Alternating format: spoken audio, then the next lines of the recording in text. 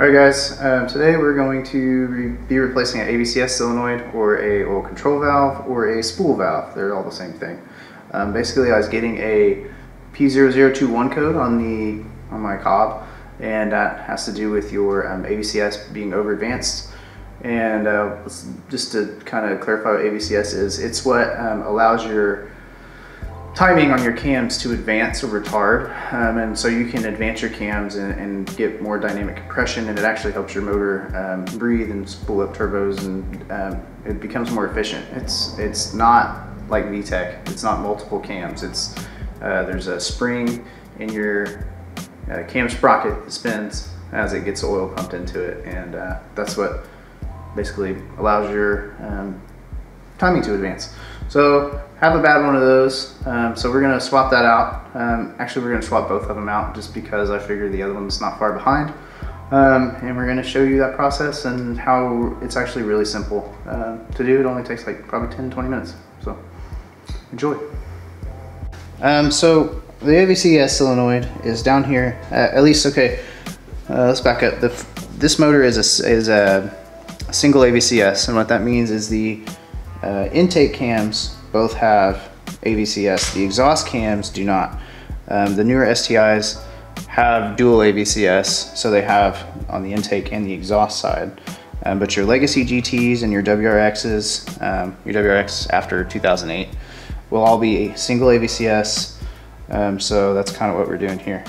Um, so first of all, you need to remove anything that's gonna prevent you from getting to the solenoid. Now you'll have a battery probably in the way that you need to pull out. Pull out. This isn't a battery. Uh, it's a catch can, but I have a battery to pull out of the way. Um, and then, you know, anything else, hoses, um, if you have like, um, I don't know, anything going on, uh, fuel, fuel lines or anything, you gotta kind of work around those. So first thing I'm gonna do is work on getting my, um, this is my charge pipe for my intercooler out of the way.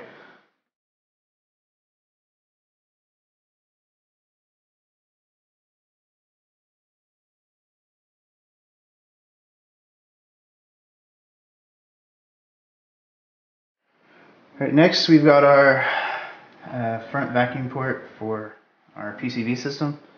Uh, it goes on the head. This one's kind of goofy because again, I have catch can, but you gotta you gotta remove that to get clearance uh, for the valve to come out of this solenoid, and I'll show you all that in a second.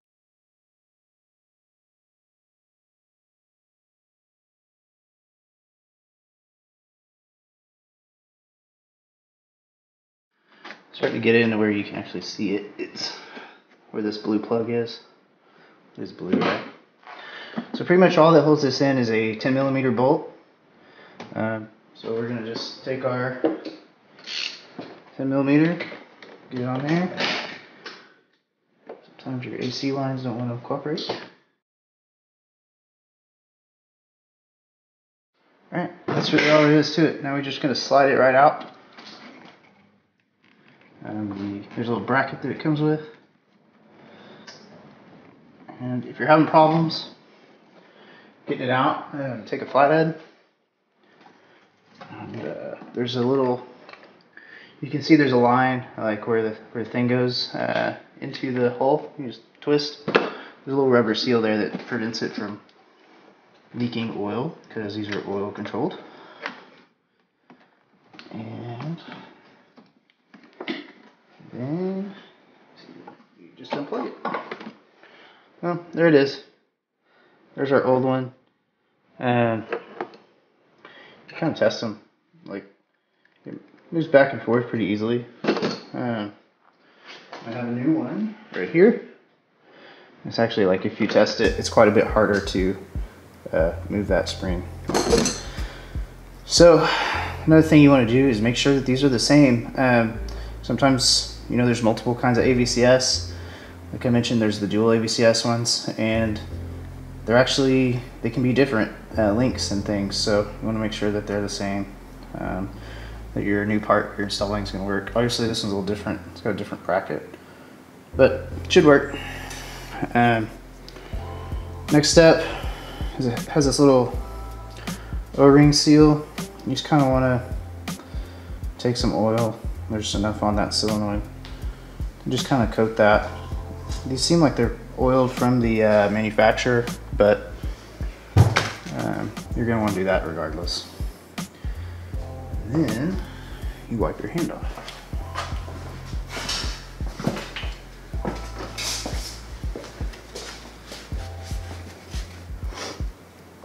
Okay.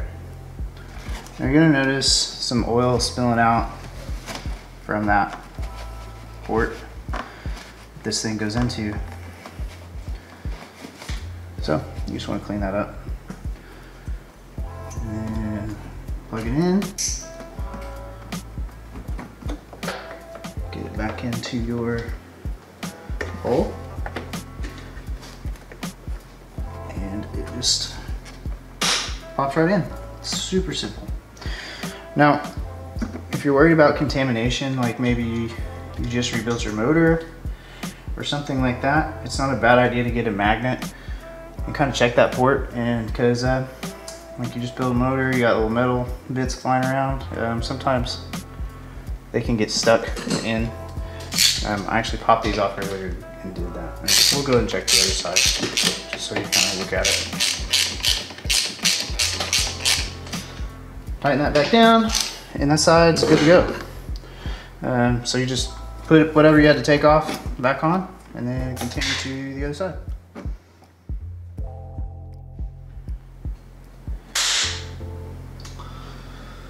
All right, so now we're going to do the uh, passenger side uh, for USDM vehicles. the uh, right side. Um, and this is actually, uh, something you want to know is when you're looking at your access port, it'll say AVCS left, AVCS right, and that is according to the driver. So um, if you're driving, it says right solenoid, which is P0011, and left side is P0021. I might have that switched. Uh, don't quote me on that. But it'll say right side, which is your right hand side. It's not a mechanic's right, which would be looking at the motor and that side. Anyways, so we're gonna take this intake off. Um, you have the factory set, set up with the turbo inlet coming through here, and then that little S pipe and the air box, you may have to pop that air box out, which isn't always fun to do. Um, but it, it only takes like five, 10 minutes, so um, it's not any more complicated. Uh, it's just really simple when you just have a big air intake like this to take out. Yank this guy out. So to the side so Mickey doesn't get mad for me ruining his nice paint job that he put on there. Alright, so the solenoid is right here, same spot. Um, and then actually we're gonna have to pull the vacuum line for PCV just like we did on the other side. Be clearance. Uh, that was not too hard to do. Um, I've got a bunch of boost lines and stuff in the way. You don't necessarily have all that. Um, but main thing you want to do is, you know, get it clear so that you have enough clearance to back this guy out all the way. This blue plug again. And then here's the bolt that we're to take out. The nut, whatever you call it. Yeah, bolt. Like a retard.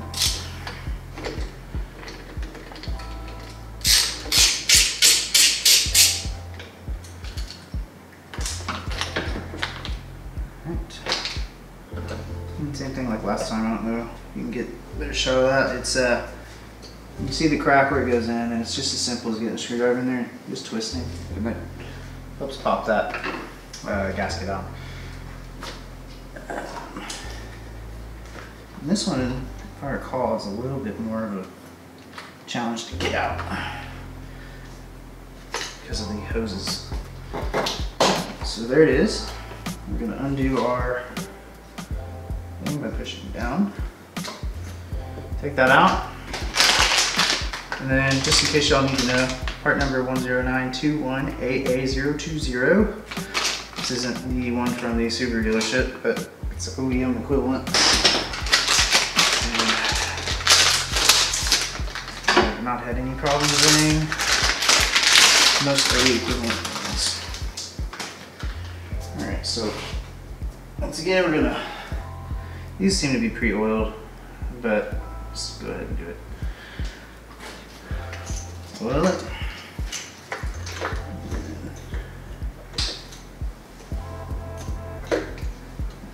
slide it back in. Mm, that little snap is how you know. Plug that in and then get your vacuum line and then you can tighten the hose clamp to keep that on. And put your bolt back in. Super simple. Think if you took this to the dealer, they'd probably charge you like a couple hundred bucks. So don't be that person. Do it yourself. Now, if this doesn't fix your code, there's a few problems. One is um, the oil fittings, which are on top of this hard line that go down into the AVCS solenoid. From the factory, they have banjo bolt screens in them. Um, these have been removed, but if you pull that banjo bolt out, there will be like a little screen um, to catch things. Um, and actually Subaru sent out a bulletin like, hey, you should remove those screens because all they're doing is clogging your AVCS system and that's bad. That's what causes restriction of oil flow or a bad solenoid, basically causes your timing to do wonky things when you don't want it to do it. The other thing is, and I see this on a lot of rebuilt cars, is people spin a bearing, throw a rod, something like that, um, and they don't replace the cam gears. And they're like really difficult to clean. You get some kind of metal or anything in those, um, you pretty much have to completely disassemble them, which is kind of a tricky process because there's a lot of mechanism in there that allows them to advance and hard timing. So um, if you've thrown a rod or spun a bearing, done anything that's going to put metal into your motor, just replace them. It's going to cause you headaches down the road if you don't. Or I've seen a few people that know how to clean them and maybe they charge less than like the 200 bucks it is to buy a new one. Uh, but either way, you want to make sure you address that because um, that'll cause same kind of issue uh, that you're getting with the failed AVCS solenoid. So that's pretty much it. We've put everything back together. Just got to put the intake back on and test it and make sure our codes don't come back. Pretty simple.